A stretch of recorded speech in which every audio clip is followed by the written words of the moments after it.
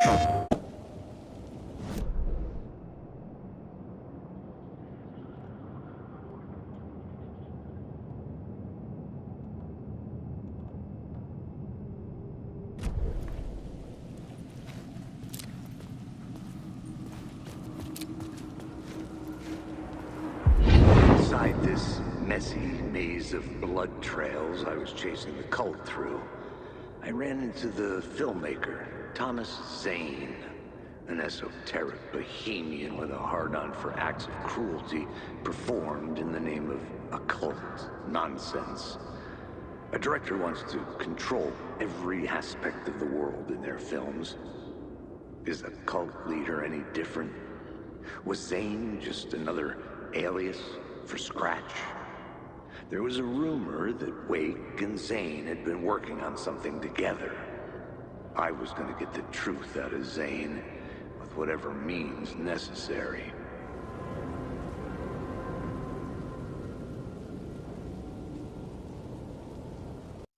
PlayStation